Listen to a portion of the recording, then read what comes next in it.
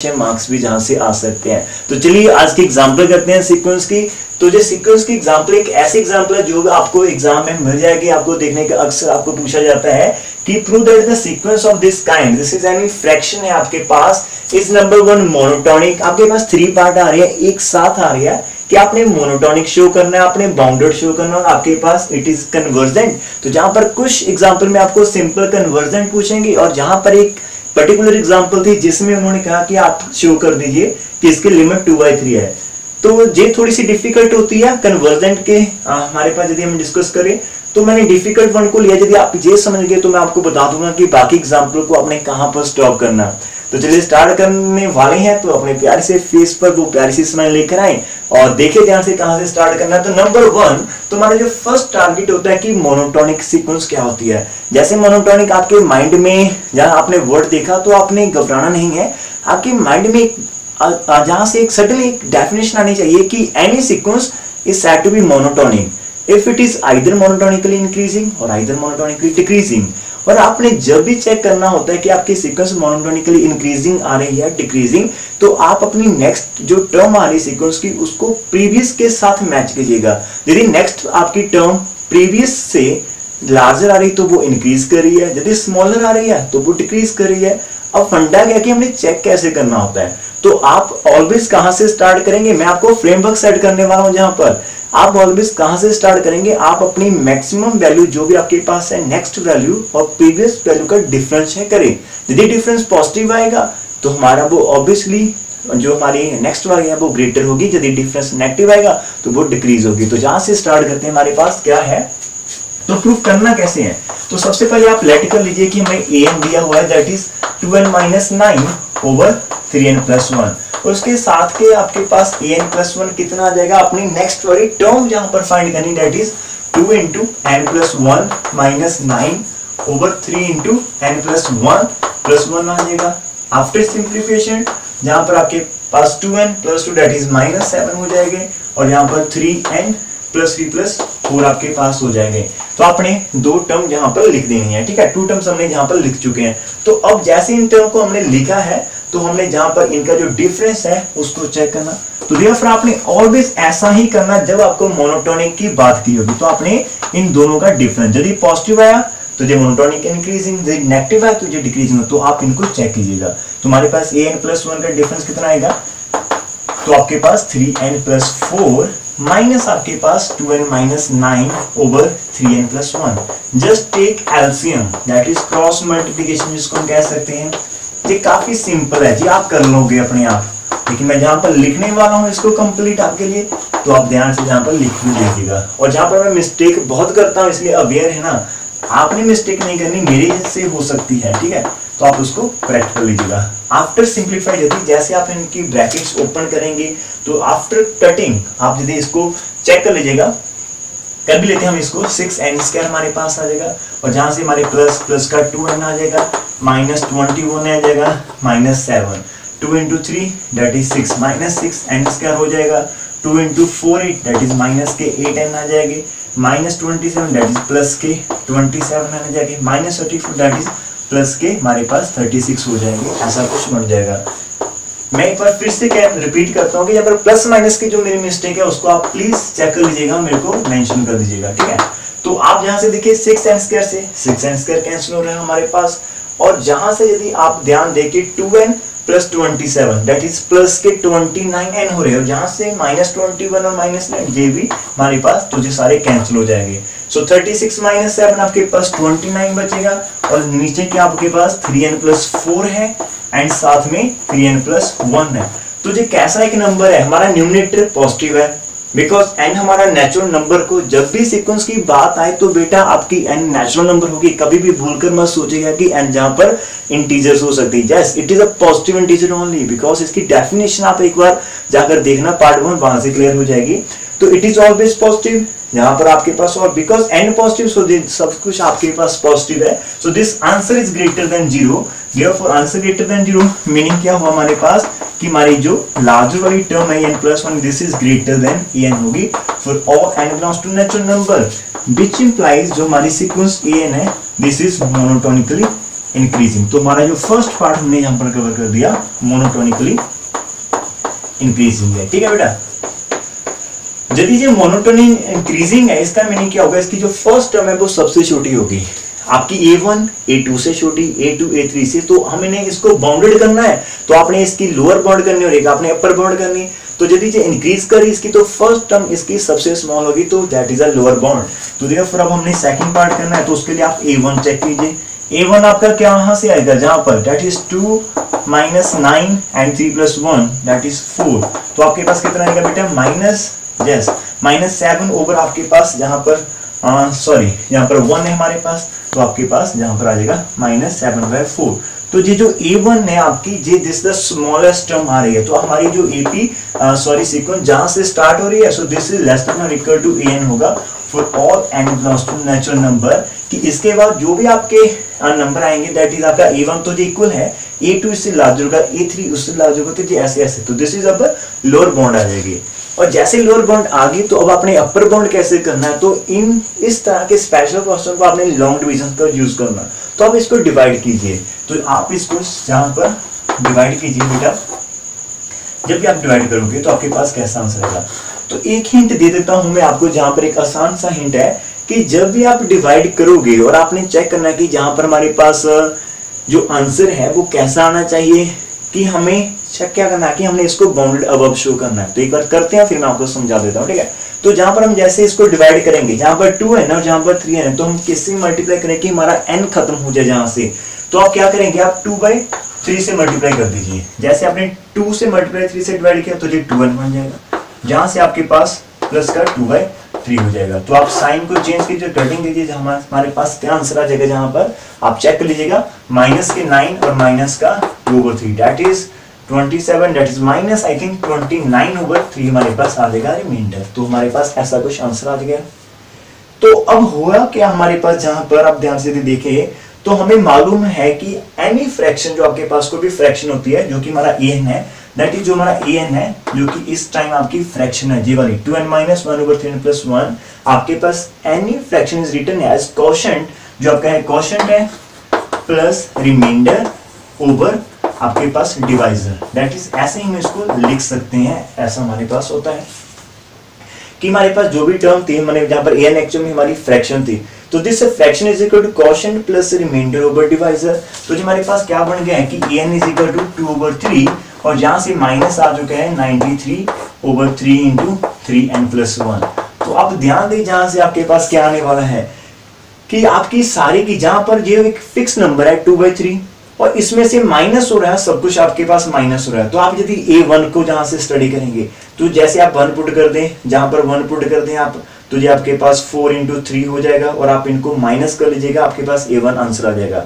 जो भी आपका आंसर जहाँ से आएगा तो अब आप जो एन को वन टू थ्री फोर जो भी पुट करेंगे, वो सब कुछ आप जहाँ पर करेंगे, इस नंबर पर करेंगे बिकॉज़ एन जहाँ पर है। और जैसे इसका जो भी फाइनल आंसर होगा वो ऑलवेज आपका टू बाई थ्री से माइनस होगा। इसका मीनिंग क्या होगा? ये जो आंसर जी वाला आंसर है दिस इज़ ऑलवेज आपका टू बाई थ्री से स्मॉल आएगा। For all n belongs to natural number ये कभी भी इक्वल नहीं आएगा। ये इक्वल कब आएगा आपका? जब आप एन को इन्फिनिटी पुट करेंगे। वन ओवर इन्फिनिटी ज़ीरो तब। तो इन्फिनिटी हम पुट नहीं करते, हम इसको लगातार लेकर चलते हैं। सो हमारी a n is less than हमारे पास टू टू बाई थ्री तो आप जहाँ से समझ गए ना कि इसमें से कम हो रहा है तो ये ऑलवेज लेस देन होगी टू बाई थ्री तो हमारे पास हो क्या गया कि देयर फोर हमने शो कर दिया कि हमारा minus seven by four is less than equal to n which is further less than two by three for all n belongs to natural number हुए हैं तो विच इंप्लाइज आपकी सीक्वेंस है, जो a n it is bounded sequence है। तो ये हमारे पास बाउंडेड होगी तो एक हिंट मैं आपको और देना चाहता हूँ, जहाँ पर वो क्या है आपके लिए सिंपल सा हिंट है, कि जब आपके पास ऐसा आ जाएगा ना, कि आपने शो करना है बाउंडेड अवर्ब और मान लीजिए आपके पास कुछ ऐसी सीक्वेंस आ चुकी है कि वो पहले से मोनोटोनिकली डिक्रीजिंग है। डिक्रीजिंग है, तब आपने उसकी लोअर बाउंड फाइंड करना होती है, ठीक है? जब वो डिक्रीज करती है तो जो उसकी फ़र्स्ट टर्म होती है, वो मैक्सिमम होती है। मीन उसकी अपर बाउंड तो है, उसके बाद वो उससे स्मॉल स्मॉल स्मॉल जाएगी। लेकिन कहाँ तक स्मॉल जाएगी? वो हमने देखना होता है कि कौन सी इसकी जो सबसे स्मॉल वैल्यू होगी। तो उसमें आपने फिर डिवाइड करना और वहाँ पर आपके पास जहाँ पर जहाँ पर माइनस का साइन वहाँ पर प्लस का साइन आना चाहिए। वहाँ पर प्लस आ जाएगा, अपने आप आ जाएगा। तो जब प्लस आएगा तो वो ऑलवेज आपके पास greater than this first number होगी, वो आपकी लोअर बाउंड बन जाएगी। जी ऐसा आप कर सकते हो, ठीक है? तो सिंपल सा फंड है। तो हमने दो स्टेप शो कर दिया कि मोनोटोन भी कर चुके हैं, हम बाउंडेड भी कर चुके हैं। तो अब एक लाइन लिख दीजिए जहाँ पर कि बी नो दैट आप एक जहाँ पर लाइन लिखने वाले हैं, आप मेंशन कर लीजिएगा कि we know that a monotonically increasing sequence is bounded above therefore it is convergent because it is monotonically increasing भी है। साथ में जो बाउंडेड भी है तो which implies the given sequence the convergent sequence आपको काफ़ी क्वेश्चन जहाँ पर ऐसे आएँगे जहाँ पर सिंपली कन्वर्जेंट लिखा हुआ होगा। तो आपने ऐसे ही इसको करना है, जैसे आप करेंगे कि ये मोनोटोनिकली इंक्रीजिंग है और साथ में बाउंडेड अबव है तो therefore it is a convergent and वहाँ पर आपका क्वेश्चन कंप्लीट हो जाएगा। लेकिन इसमें हमने एक नेक्स्ट स्टेप करना है कि हमने इसकी लिमिट शो करनी कि टू बाई थ्री है, इसकी लिमिट हमने चेक करनी। तो आप इसको जहाँ पर पॉज कीजिए और एक बार नोट कर लीजिए तो हम उसको भी डिस्कस करते हैं। ओके तो अब हम क्या करने वाले हैं? हमने जहाँ पर शो करना है कि इसकी जो लिमिट है, वो क्या है? टू बाई थ्री है। That is we need to show that in part third our a n tending to two by three as n tending to infinity हमने जे शो करना है। तो अब आप जहाँ पर माइंड लगाइए कि लिमिट की डेफिनेशन क्या होती है। यदि आप शो कर पाए कि ए एन माइनस एल आपका लेस देन एप्साइलन हो चुका है for some n greater than equal to m एक ऐसा आपने एम फाइंड कर दिया है कि जैसे आप उस एम से लार्जर वाली वैल्यू लेंगे एन तो इस ए एन और एल का डिफरेंस यदि हमारे पास एप्साइलन से छोटा आएगा so this implies a n tending to l that is our l is a limit point of that number तो जहाँ पर भी हम सेम करेंगे डेफिनेशन को आपने जब भी करना होगा तो आपने ऐसा ही करना है कुछ ना कुछ। लेकिन हमें जहाँ पर मालूम नहीं कि ये नंबर एन माइनस एल है कैसा जहाँ पर यदि हम पहले इसको फाइंड कर लेते, फिर देखेंगे कि एप्सिलॉन से छोटा करवाना है तो कैसा? तो सबसे पहले आपका बेसिक स्टेप ये होना चाहिए कि आपने a n minus two by three को फाइंड करना है। कि ये एक्चुअल में नंबर है कैसा कि जिसको हमने एप्सिलॉन से छोटा करना, उसके अकॉर्डिंग क्या हम एम को सिलेक्ट कर पाते हैं, क्या हम एन को फाइंड कर पाते हैं? ये आपका क्वेश्चन है। आप इतना मत सोचिए, आप सिंपल देखिए, जैसे भी आपके पास कोई लिमिट आ गई तो आपने यहाँ से स्टार्ट करना है कि इन माइनस टू बाई थ्री को फाइंड कर लीजिए। तो आपके पास क्या आएगा? Two n minus nine over three n plus one minus two over three इसको सॉल्व कीजिएगा एल्सियम लेकर तो आपके पास ये आ जाएगा cross multiply that is six n और माइनस ट्वेंटी सेवन और माइनस टू एन टू इससे मल्टीप्लाई कीजिए। आप that is three n plus one से मल्टीप्लाई करना है। तो आपके पास लोअर पार्ट बन जाएगा। ये वाला। तो which is equal to nothing but आपके पास आ जाएगा। जहाँ पर माइनस सिक्स एन कैंसिल हो गया और माइनस टू डेट इज़ आपके पास minus twenty nine over three into three n plus one आ जाएगा दिस नंबर और जैसे इसका एप्सुलट आप हटाएँगे तो this is nothing but twenty nine over three into three n plus one आपके पास होगा। और आपके पास सॉरी जहाँ पर थ्री भी है आपके पास ऐसे आंसर आ जाएगा। ठीक है? तो हमारा जो a n minus two n है आपके पास, ये नंबर कैसा है? कि ये नंबर ऐसा हमारे पास है। अब जहाँ से एक ट्विस्ट है आपके लिए, कि आप सॉरी जहाँ पर आप चेक कर लीजिएगा कि हमारे पास थ्री एन प्लस वन है तो ऑलमोस्ट एवरीथिंग इज़ डन तो ठीक है बेटा तो जहाँ पर कोई मिस्टेक होने के चांसेस है नहीं, ठीक है तो हमारे पास ऐसा चुका है twenty nine over three into three plus one तो अब आपकी जो नेक्स्ट अप्रोच है, वो क्या है कि हमने जहाँ पर फाइंड करना है कि इसका आंसर इतना आ चुका है। तो देव फोर आपने वो डेफिनेशन लगानी है तो देव for for given epsilon greater than zero हमारा जो होगा नाउ हमारे पास जो a n minus two by three है this is less than epsilon तो आपके पास ये एप्साइलन से कब जो स्मॉल कब आएगा, जब इसका जो आंसर है, वो इससे कम होगा।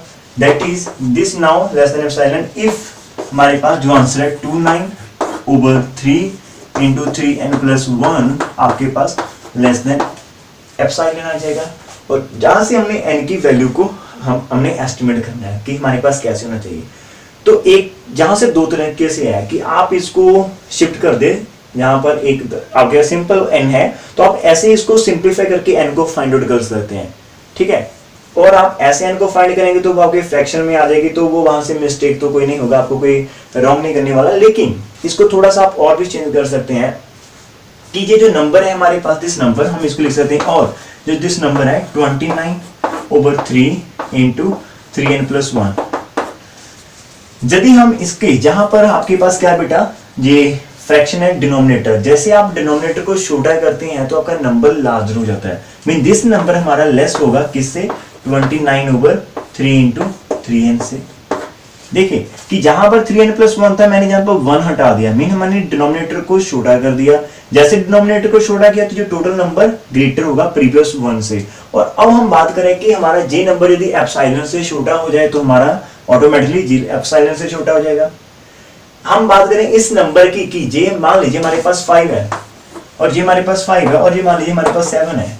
तो यदि मैं ऐसा कहूँ कि मेरा सेवन यदि एप्साइलन से छोटा हो जाए तो ऑटोमेटिकली आपका फाइव भी एप्साइलन से छोटा ही होगा, और फाइव होगा तो जे भी हो जाएगा। तो अब हम बात यहाँ पर कर रहे हैं कि हम इसको कर देंगे। तो this must be less than epsilon तो हम बात करें कि now this less than epsilon if हमारा जे होगा दैट इज़ यहाँ पर if this less than equal to this and further less than epsilon mean आप इसको चुप करवा दीजिएगा। और जहाँ से हम इसको वैल्यू फाइंड आउट कर सकते हैं दैट इज़ इफ़ हमारे पास क्या होगा? 29 over 9 n is less than epsilon जहाँ से आप एन की वैल्यू फाइंड कर लीजिए, इसको रेसिप्रोकल में ले तो आपके पास आएगा that is 9n over 29 is greater than 1 over epsilon और जहाँ से आपके पास n आ जाएगा दैट इज़ आपका जो n है that must be greater than 29 over 9 epsilon कि यदि आपकी n इस नंबर से ग्रेटर हो जाए, तब तो हमारा j a n minus two by three epsilon से छोटा होगा और यदि एप्साइलन से छोटा होगा तो इसके ऊपर लिमिट की डेफिनेशन लग जाएगी। अभी हमें एन इसके ग्रेटर चाहिए। तो अब हमने यहाँ पर क्या करना होता? एम फाइंड करना होता। तो लेटेस्ट टेक तो हम यहाँ पर लिट कर लेते हैं। तो लेटेस्ट टेक एम जो हमारे पास है just greater than just greater than this number 29 over 9 epsilon natural number तो लेट हम, हमने लेटेस्ट टेक एम यहाँ पर आप लिख सकते हैं एम के हमारे पास नेचुरल नंबर है बेटा, ठीक है?